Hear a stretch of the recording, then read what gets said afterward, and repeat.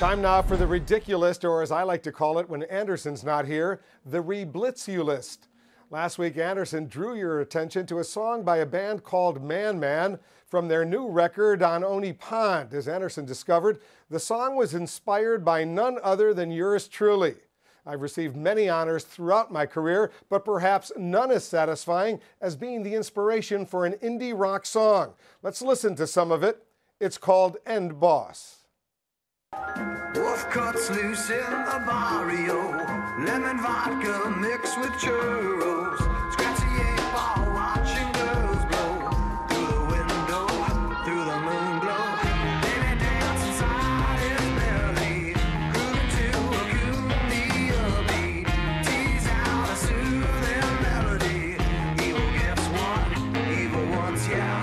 Evil gets what evil wants. Yeah, I actually have that cross stitched on a pillow on my bed, and I wonder how they knew that.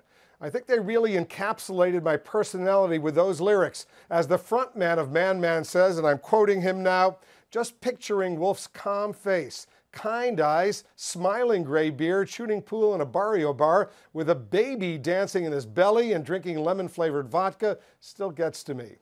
I've always suspected that Duran Duran's Hungry Like the Wolf was about me as well. I just never got official confirmation. But there's no question about the Man Man song because the front man even wears a tunic emblazoned with multiple Wolf Blitzer heads.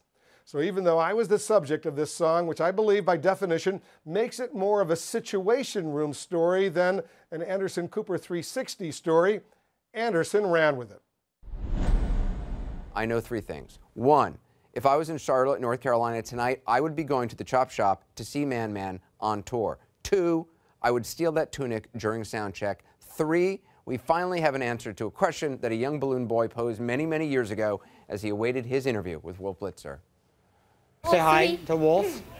His name's Wolf. Hi. Hi, guys. Hi. Who the hell is Wolf? I'll tell you who the hell Wolf is. He is an enigma. He is a muse, and forever in song as a vodka swilling baby eater, he shall be remembered. All right, Anderson, I also know a few things. One, if I was in Tucson tonight, I'd go to the Man Man concert at Club Congress, and I bet I'd get in for free. Two, I know that a band called Cryptic Murmurs once wrote a song about you. Maybe you're just a little bit jealous because my song kind of kicks your song's butt.